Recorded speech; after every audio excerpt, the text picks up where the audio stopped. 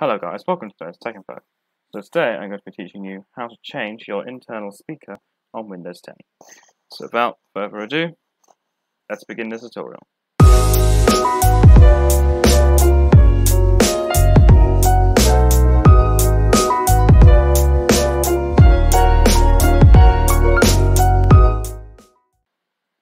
Alright, so first off I'm going to go into Start.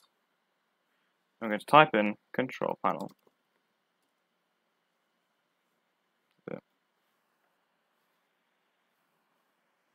On hardware and sound. Check that, that your view by is set to category. So if you're on hardware and sound, on sound, and here you can see all of our speakers on playback. So in order to change our internal speaker, we're going to click on it and click on set default. And let's check that it works, right click and click on test